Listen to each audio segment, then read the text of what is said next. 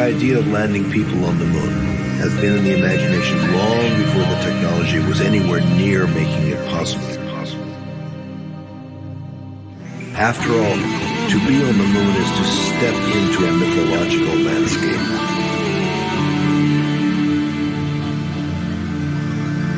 I think that every journey starts with a first step.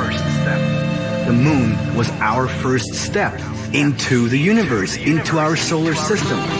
It is awesome to think that already 50 years ago, we became extraterrestrials on another planet.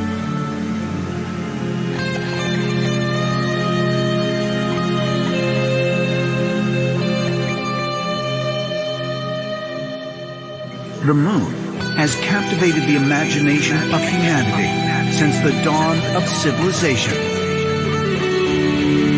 The moon's importance is very great. It leads to tides, high, which help in life transition from living in the ocean to living on land.